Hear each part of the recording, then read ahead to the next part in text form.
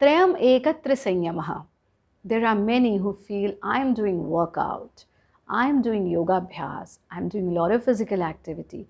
Doesn't matter what I eat, how I eat, when I eat. Doesn't matter when I sleep, when I wake up. I'm going to be healthy. There is a second opinion, second kind of people who feel I am on a special diet. You know, I am doing intermittent fasting or I am doing some another kind of diet. Doesn't matter when I sleep, when I wake up, doesn't matter whether I'm doing yoga abhyas or not. I'm going to be absolutely healthy and fit and fine. There is third category. I'm sleeping on time, I'm waking up on time.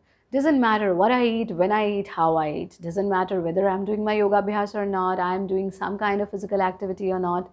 I'm going to be fit and fine. Unfortunately, all three are wrong. That's why it is said, Trayam ekatra sanyamaha. All three have to go together. Sleep, diet, yoga abhyas. Because sleep and diet both are part of yogic lifestyle, both are part of yoga. Sleep is a philosophy in itself and it is a deep science which repairs, which heals you, where your body relaxes, where your mind cools down, where your consciousness is partially suspended and you reach your higher states.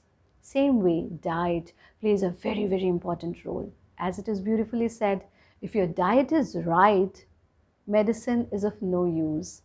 If your diet is wrong, if your diet is right, medicine is of no need. And if your diet is wrong, medicine is of no use, right? All three have to go together. And that is what we teach at Bharat Yoga courses. Bharat Yoga courses are not only about asana and only the theory or the practical. It is about living your life in a better way.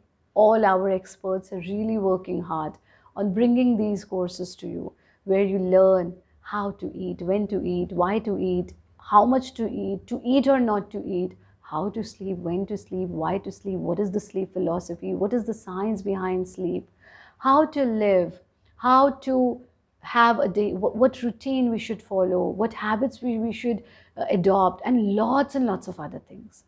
Because with together, we have to maintain the balance of all three diet, sleep, and your abhyas, your yoga abhyas.